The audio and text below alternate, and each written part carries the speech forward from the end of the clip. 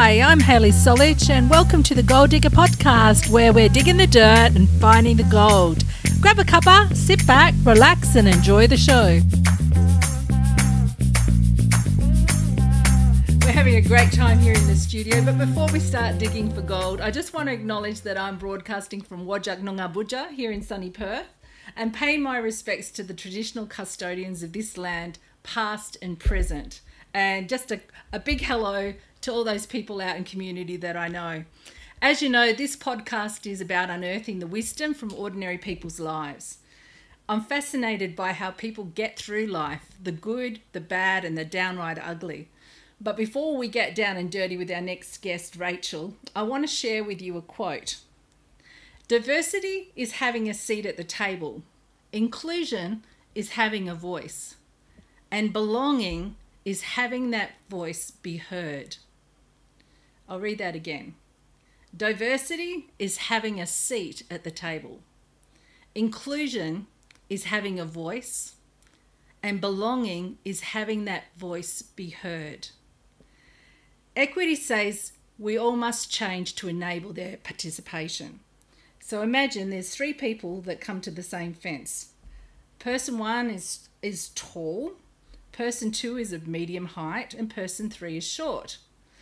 If they need to see over that fence, equity says give person three a box to stand on so that they're at the same height as person one, and give person two a, another box that brings them also up to the same height. But what if one's blind? I suggest we need to go one step further. I say consider the lived experience of the person and adjust not only to the physical environment but also to the emotional and spiritual environment. Imagine that person one carries the fear and pain of being bullied for being tall, and that sometimes they overreact because they miss what people are saying and they feel saddened by that feeling of standing out. And imagine if person two, well, look, they're pretty content because they generally fit in with everybody. You know, they're middle of the range, they don't stand out, and so they're pretty happy with themselves. But then person three carries the fear and pain of being bullied for being short and from a minority group. You know, getting them to the same height does not address the disadvantage of their lived experience or their emotional journey. And I say that opportunity alone is not enough. True equity is enabling the opportunity for the same respectful, trauma informed experience for all. That means addressing biases and being aware of people, and it requires other awareness awareness of how others may be thinking and feeling. As we're speaking about equity, I'm thinking of our next guest, who is a champion for this space. She's a wonderful woman. We've had so many wonderful conversations, and I will waste no more time in introducing to you Rachel Oliver. Oh, thanks, Hayley, for oh, having me. Welcome. I'm, I'm just so excited to have you here because I know we're going to have a great chat. Yeah, yeah. Uh, so, Rach, before we start, I, I do this with all of my guests because it just helps our listeners sort of get an idea of your personality and character. Sure. Can you choose an animal that best describes you? And just let us know why you chose that animal. Yeah, well, I struggled with this because I'm not a real animal person. So, but what I did do, I had a bit of a Google last night and I came to look at the eagle and i was talking to my daughter about it and because the eagle's around soaring high and you know being almost on top of your game and almost in that leadership space and that's where i'm going to. So my daughter thought that that was a good animal to choose um, so I'm going with that for now. Fantastic. Well, I, I love that. I, I, the eagle is, you know, as you know, is my logo for my yeah yeah my advocacy work and yeah. uh, rising above. You know, the crows they peck at you, but you rise above those situations. So no, I really love that. Well, today I'm I'm a beaver today. Yeah. I have been a busy beaver you this have? week. Yeah. I've been storing up and building up and damming up. uh, just hoping the dam doesn't break. Yeah. just for now. just for now.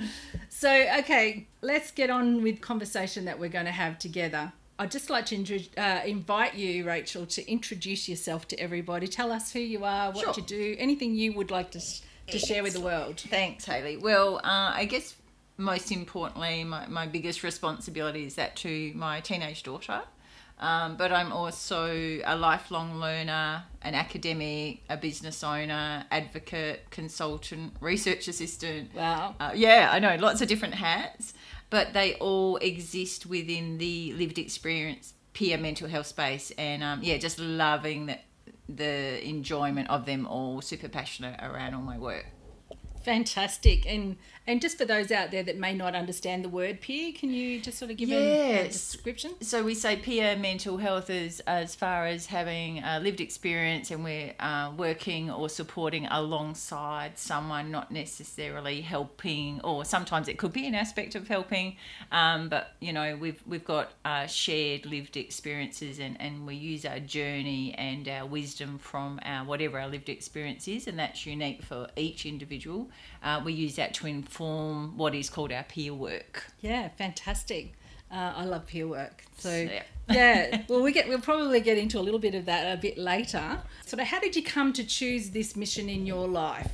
You know, how did you how did you get here? How, and how's this work changed or shaped you? So Sure, yeah. so- so- great, great question. um, yeah, and it's different for everyone, but for me, I think the work actually found me. Um, so, following experiencing what is called typically postnatal depression, but what I now choose to use the term as mothering through distress, um, I wanted to use all my experiences, which uh, over a long period of time. I wanted to use that for good. Um, so I find it all cathartic being in that lived experience peer space, my journey, the recovery that's still ongoing. And yeah, it's it's what I enjoy, I love, I'm passionate about. So yeah, I think it found me, which is great because I wouldn't want to do anything else.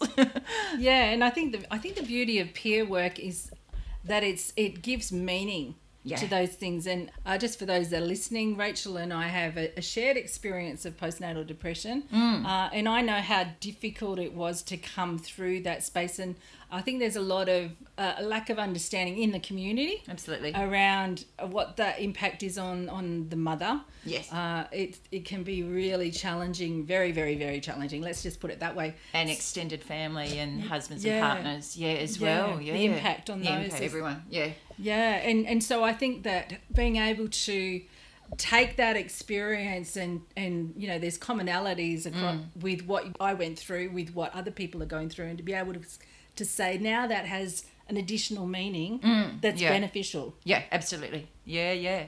And that's where the wisdom comes in is that maybe we had a really crappy time and whatever that looked like for me, for you, for other people.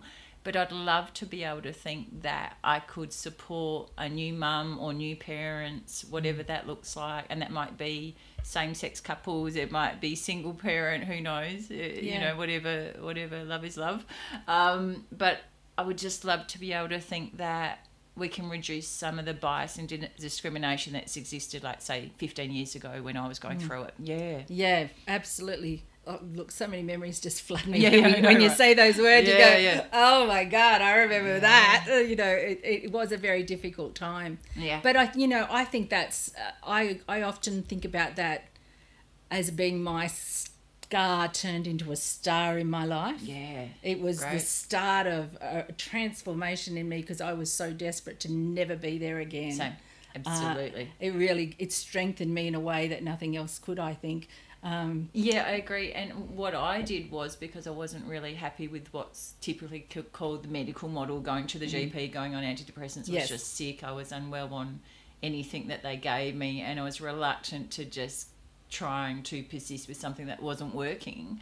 So then I educated myself. Yes. Right? Yes. And then now, because I've always valued education, now I'm like, oh, okay, that's key.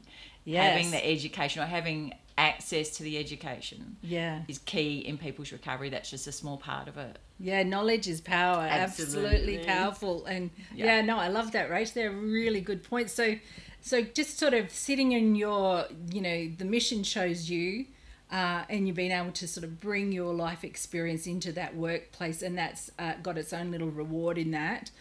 But what what has been the, the the most difficult aspect of the work that you're doing?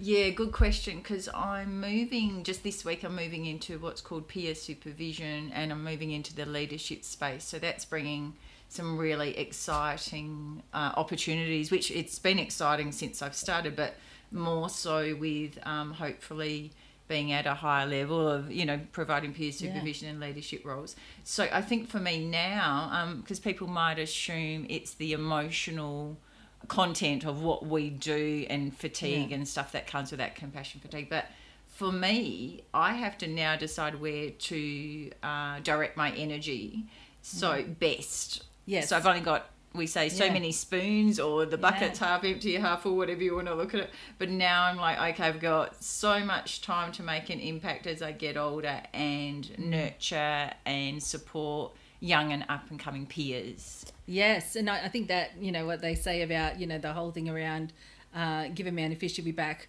But if you teach him to fish, he won't be. He won't need to come back. And I think it's the same with this with the mentality of of imp, uh, imparting knowledge, wisdom, understanding into the next generation of peer workers. I think that's a fabulous. Uh, approach and ment, you know mental space to have to the work you're doing. Can you just describe what a supervisor does, just for people who who Yeah. aren't, haven't had any experience of clinical language or Yeah. or peer language in a peer space? What does supervision look like? Sure. So, like, people may be familiar with what's clinical supervision. That's quite different to peer supervision. So, it could look like a bit of coaching, a bit of mentoring, a bit of support around professional development, um, the opportunity to vent, the opportunity to talk about your workplace, to talk about personal life, to talk about the intersectionality that comes with all that. So, for any person, depending on their role, and their role might not always be defined in a job description we find in our peer space.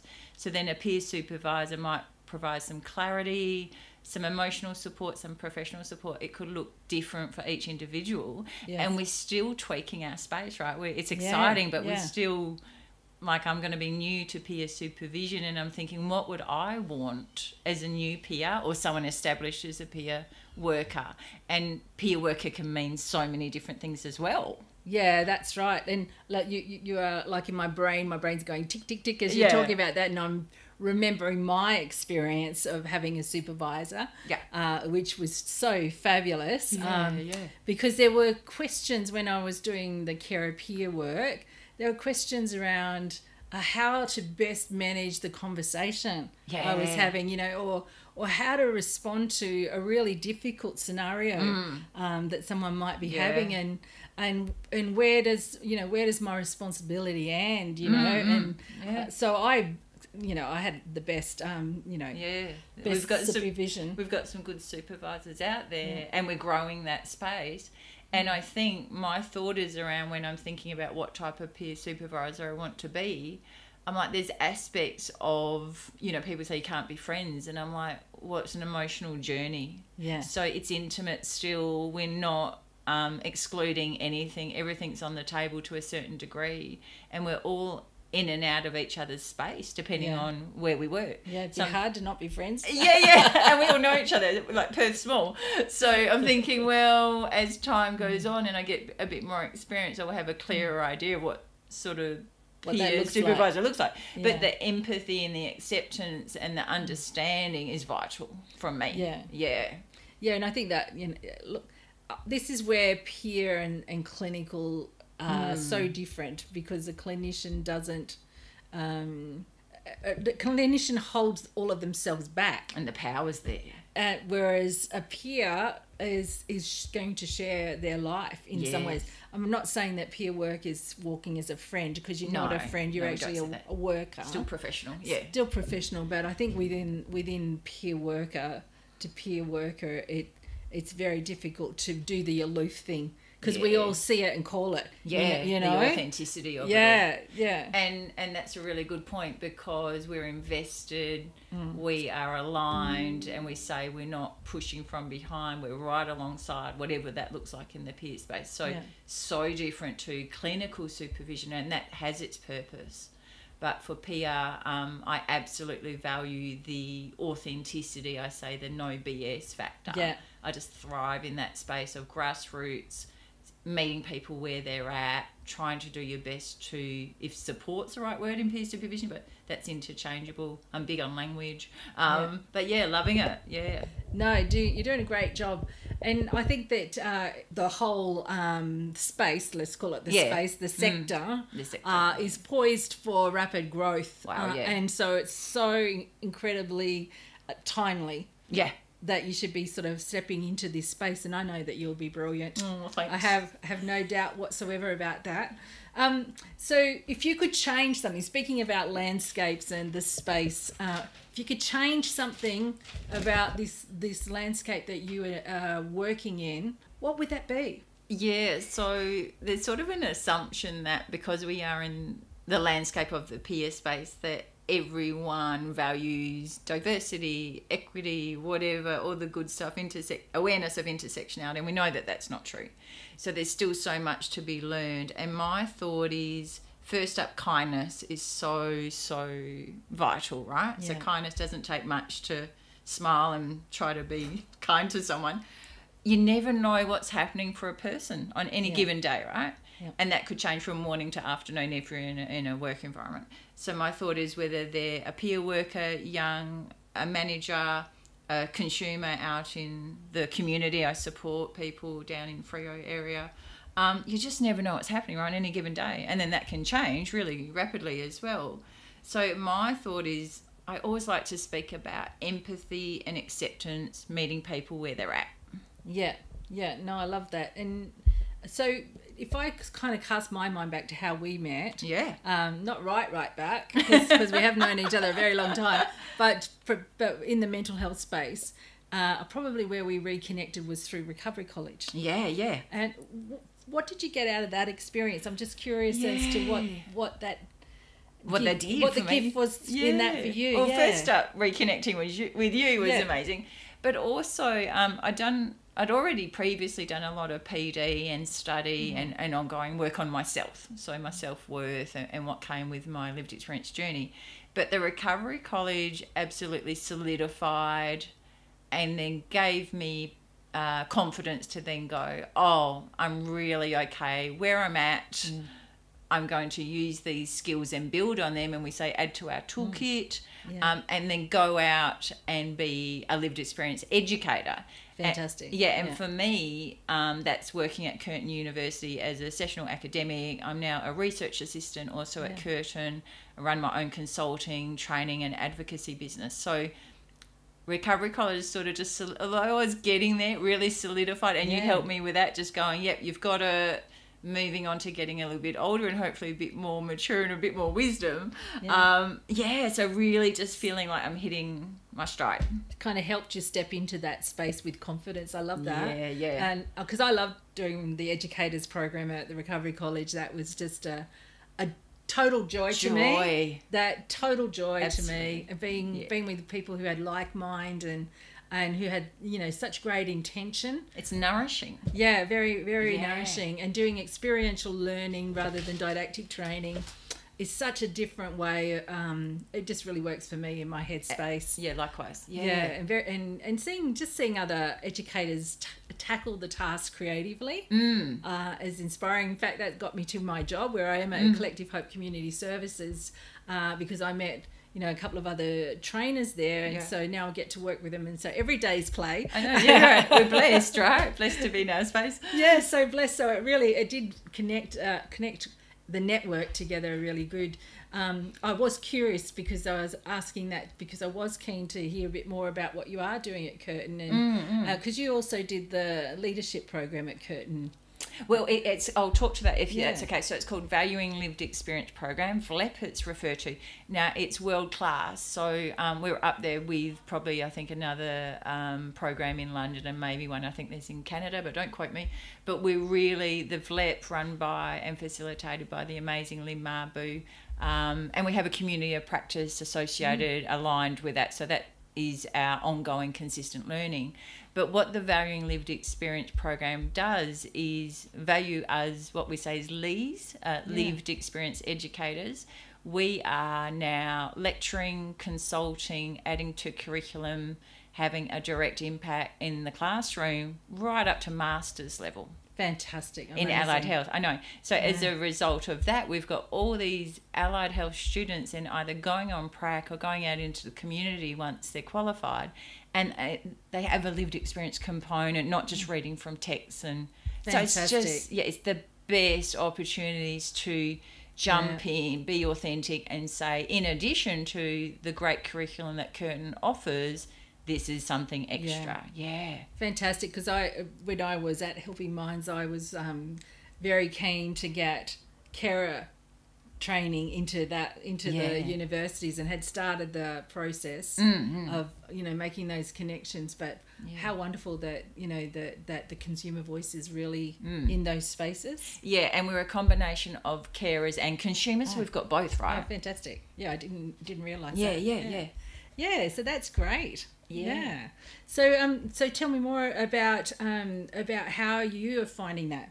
Yeah. uh, like being in the classroom in Yeah. those capacities and working. Yeah, well, I love it. Um, I thrive. I've always been a student, you know, from year 12, always studying right through now. I'm turning 50, so it's sort of like never stop learning, always think uh, consciously about always being the student, whatever space you're in, you're, there's always opportunities to learn.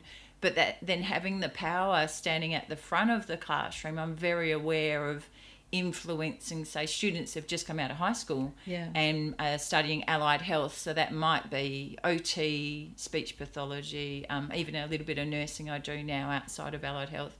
So we've got all these amazing lecturers that don't identify as lived experience that are championing us. Oh wow. And there's about four to six of us that regularly work in the space. Fantastic. Yeah, and so we, sh- we, you know, an example might be we share our lived experience for the purpose of, um, you know, like say occupational therapy, and then the students will go away and do an assessment, and it might be a representation letter. So what did they actually hear, and what did they get? Those Yeah. little nuggets of wisdom. And then we might say something like, example, or the language you use isn't strengths based, person centered. This might Yeah. be offensive or non empowering or whatever, you know. Yeah. That's an example. Yeah. Yeah, look look how the landscape is changing. Like if I think back even six years, uh, you know, the to Oh. have those conversations was even hard. Wow. It's amazing that shifted. Yeah, and to have all the champions like um, Angus Buchanan up at Curtin, who absolutely is solid on keeping the VLEP program. We are indebted to people that aren't lived experience to champion our space as well and provide funding and be open to learning and, and there's all that money there the funding that's coming Yeah. through right from the government so Yeah. even though it's been quiet in the media we're getting millions of dollars to champion the lived experience voice so i'm like hallelujah finally we've got progress in actually getting some money with that Yeah, yeah And, and look, I, I guess at the end of the day, it's it's not even about you, me, and how we are. It's about the experience of the individual when they receive a service, when they go into hospital, when they go into community. Uh, whatever community Service service it yeah, yeah. whether it be eh, you know NGO or government um, funded, it's about what is their experience like. Mm, for them at that point of time Yeah, and how is that helping or hindering them? hindering yeah, Yeah, one of the things I love about my work um, at Collective Hope is they do truly person centered Mm. approaches to their work in the psychosocial disability space. And I just love that the person comes first, Mm. whatever that looks like. And sometimes it can be very painful for Yes. us as an organization Yes, truly because we difficult. have to hold space for someone to make a choice and Mm. give dignity of risk and be ready to catch them, you know, if they fall down. yeah Um, but it is such a joy to see lives transformed absolutely because yeah. they do transform. Yes They, recovery is possible it is possible. Yeah. You know, I, I've seen it firsthand. You know, one of our, our we've got some amazing workers who who've come through the service and are now you know uh, in employment and having a wonderful life. Yeah, Uh, and it's not to say that recovery is the end point or the goal, but it's that they could be existing within some type of what looks like recovery to them. That's right. Yeah, yeah, because it's not it's not, not, linear. it's not linear and it's it's not what I think recovery is. You know, yeah, same. Yeah, I, I, you can hold hope for somebody to to change to what you think it is, Yeah. but it's actually what they think is yeah. is the most important Exactly. because you might think you know I, I always wanted my kids to be dancers because I was a Mm. dancer and I think well when they get a dancer they'll succeed That's this. they didn't like dance Yeah, yeah, yeah. or they did Yeah. but we didn't have the money you know there's lots of factors that inhibit someone being able to do something Yeah. uh, so so I can hold that hope till the cows come home it might not be a reality and Mm, Yep. and it's unfair uh, to have expectations that the person doesn't hold for themselves don't align with them. And, Yeah. and that's where we see a lot of that whole goal setting or the NDIS and those barriers that come through. And I work in the community two days a week with peer support, Yeah. face to face. Um, so yeah, that's where we've got to be so mindful of listening, active Yeah. listening, engaging, uh, listening to their story one day, then revisiting the next week and saying, "Where are you at today?" Yeah. right? it might just be a shower today, and then the next day it might be like a haircut. yeah look no so true so true and it's unfair to to judge yeah, absolutely. uh, yeah. the progress of the another individual and yeah no i, lo- I love that I, I was looking at that quote earlier around identity being um, dependent on the person's reality in that moment how they're perceiving reality and Mm. uh, and who has the right to say my reality is more real than your reality Mm. because we all see things differently and even if it's like what is a you know people say is a diagnosis which i don't like Yeah. the word diagnosis because i don't align with the medical model but you know perception sense of reality can look so different to Yeah. different people you know just in a, in a broader sense so we've got to be okay with you know talking to people that might hear voices yeah or uh, see things, or just Yeah. even like we were talking yesterday with um, intentional peer support. We were just talking about even people that experience OCD have a fear of contamination. So that's a different sense of reality as well. yeah that's right Yeah, that was my learning yesterday because I experienced obsessive compulsive disorder. So I was thinking, oh, that's even a different perception and sense of reality to other people I never even cotton on. It was just like, Yeah. wow, like by moment, uh huh.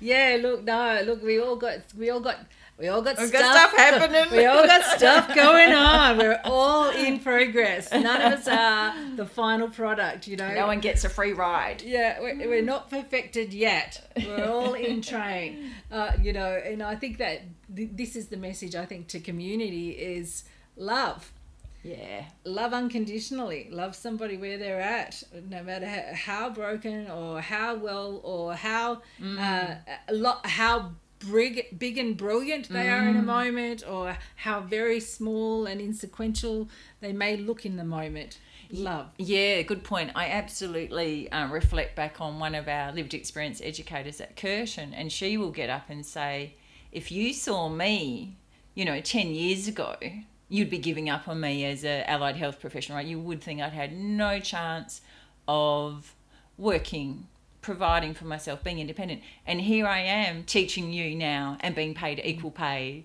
to, you know, like professors and all these wonderful people have been through uni and are qualified as such. I mean, we, we say qualified by experience, but that always sits with me is that see us 10, 15 years ago, and then now, like, unless we disclose to you, you wouldn't know Yeah, our journey. Yeah. That's right, absolutely right. And I, it's funny because I'm, you know, 57 now, so I've been around, round, round the tree a few times, Mm. around the block a few times. Uh, and I was sitting with this thought just the other day. Someone came into my world, and I, I shared a little bit of story with that person, and it was in that moment I went, they would have had no no, no knowledge. They were kind of like, I never knew that. Yeah. Uh, and even in writing our mutual friend Kath Mazzella's Yeah, book, yeah, I, yeah. I gave it to somebody to read the first draft, and they've been a friend, like close friend, for Mm. a long time. And their first comment was, "I didn't know. yeah. I never knew that was that was her in a struggle or her in a battle. or, Absolutely, You yeah. know, and so so I think we um we need to take time time to sit with one another to listen to the heartbeat Mm. and and that soul space of one another and create connection and because when we do that so valuable for recovery. We we can love we Yep. can accept we can feel like we have belonging Connection, all And that hope, stuff. yeah. All it's not in a, a tablet form. It's not Yeah. in you know, all the stuff that's clinically, you know, based, uh, which it has its place for some people, but all that connection and deep understanding, the empathy, Yeah. that that's what's needed. Yeah. Absolutely agree with you. Yeah. Yeah, it's it's transformative, I believe. Yeah, Um, it is. and so, what thirty second message would you want to share with the world if you had, you know, I'll give you a tele- television network and you can put out there whatever it is you'd like to put out there. What would you like to share? Oh God! Well, I'm big with you know supporting the LGBTI community and, and very much wanting to move into specialising in transgender health. So I always you know fall back on love is love, but I think just to reiterate around the value of belonging, acceptance, kindness, all the soft stuff that in today's world we've really disconnect or we seem to be connected online but not in person. So Yeah. just you know it doesn't take much to whether it's a neighbour, someone at work, pause, ask how their day is, and ask a second or third time perhaps because Yeah. what a person will tell you first up may not be the true reality of what's happening for them, right? Yeah, that's right. It's been comfortable to be. It's, it's Uncomfortable. been comfortable with the uncomfortable Uncomfortable, we say that. circumstances. Yeah, I look. There's a brilliant trainer I know, Christine Richardson, uh, who you'll know remember Yeah. from the course, and I've done a few um, gigs with her. Mm-hmm. She just has this ability to ask the difficult question Mm-hmm. and then just sit with it. Pause. Sit yeah. there and wait, wait, wait the person out. Silence is purposeful, right? It's silence, very purposeful, just to sit and wait it out. I- Yeah. I, have a child who, who has a bit of anxiety, and uh, often our conversations uh, have long pauses because they, they internalize their anxiety. So Mm. Yeah. sometimes they can't speak Mm. because of anxiety. Um, and then other times it just slows down Mm. the communication. And I've had to learn to go, here's the question. Wait. Mm. Yeah. Dum, dum, dum, dum, yeah. That's our learning as Yeah. parents, as support people. And it can be really tricky. I mean, I've come full circle, whoever I'm supporting. Yeah. I've gone from thinking this is the way I want to do it, and then with all my learning from all my different hats and, and ongoing, and wonderful people like you and everyone I'm exposed to and I draw wisdom from, and I'm continually improving what I say in my practices or my Yeah. approaches. Um, yeah, just to slow down and pause and listen. Active listening is so underrated. Oh, it's so validating to Isn't it? person. For Yeah. me, what Yeah. that whole uh, in my recovery journey, I mean that's ongoing too. But um, I would say sometimes I'm a bit wobbly, but mostly I'm good, depending on how the weather's, you know, how the wind's blowing. But um, yeah, very much so. We are all, all a bit wobbly. I think then we can reclaim nutcase. I always think we're all we're all like a uh, you know on a bike that's got a loose nut or two, and, and you're riding along, going just hoping it's going to hold till you get to home. yeah, and sometimes more than others, just treading water, right? And and so Yeah. if we're experiencing that, and we have the privilege of you know things like food in the fridge and income and yeah. Um, shelter, and imagine for people that don't have the same privileges, yeah, Yeah. how they're coping, right? Yeah, and, and, and also for those that do have some mental health stuff going on, you know, Mm. I, I've known cases of people who don't trust food, don't trust food preparation, and how how hellish their life must be. Mm-hmm. So, and you know, we have to hold space, I think, for people to have their life experiences and to, you know, to work their way through that. You know, I think I just didn't remember a friend who uh, was very, very low, Mm. uh, and I I went to see them. They were in in in a hospital. Went to see them, and I just said, "Would you like me to take you for a drive?" Yeah, right. And they said yes. So I popped them in the car and I just drove them all around the nice houses, just Yeah, looking yeah, at nice houses. And I occasionally threw out a line or two. Uh, what was in that for me? Nothing because emotionally they were incapable of giving me anything in that moment. Mm. But what did that mean for them? yeah, no Probably doubt. a lot. Yeah, yeah. A lot. That would have been someone coming in who's saying, I love you enough Yep. to take time out of my day Mm. to take you for this drive. I'm not being paid to do it. Yep. I'm genuinely for there you. as a caring friend, uh, and and and look, I, I think they're the magic moments. Absolutely agree with life. you. And also just to highlight that, you know, we talk about family and friends, and Yeah. for some people we just rely on our friends, and that's our family of choice. Yeah. So I know when I was quite unwell with, um, you know, mothering through distress, it was absolutely people doing similar things to that that were even coming into the house and saying, "Do you want to just go to the shop for an hour without taking Bub out?" Yeah. and I felt like a refreshed person to absolutely come back, and then I could tackle the rest of the day, right? Yeah, yeah. so yeah. things like that. I remember my friend from my one of my best friends from Collie coming up and just saying, "I'll come up and let you go out." Like she made mm. that effort to come all the way up, support me, and I went out for the day, and then I thought I could tackle the rest of the week. Yeah. You know, small steps, right? Just from wonderful people giving time and energy. Yeah. Yeah. So I'm, I'm going to leave our listeners with the thought uh, community has the word CO at the start. Yeah. It's so that's co, that means you and me together. Yeah. So co community. Mm, love it. So I think I want to leave leave you with the thought of how can you be part of the community? How can you be part of being that co uh, this week, this month, this year, this day? Uh, looking in your world and and noticing uh, people who may be missing uh, because they're not traveling so well. People who who may need some support. I always think of young mums. As soon as I see young mums, I go, "Have you got support systems Yes, in place?" Same, jump straight in. first thing I ask them is, Yeah. "Who's looking after you?" Yeah. Uh, and it. so maybe some young mums in your world. Think about who surrounds your life, and remember what Rachel said: love. What were the other words you used? Uh, acceptance, Acceptance, empathy, empathy, and just a little bit of kindness. and a bit of kindness. Great way to end our, our interview today. Thanks, Thanks, so much, Rachel, for coming. My pleasure. Thanks for having me. Been a pleasure, absolute delight. Uh, we'll see you on the next Gold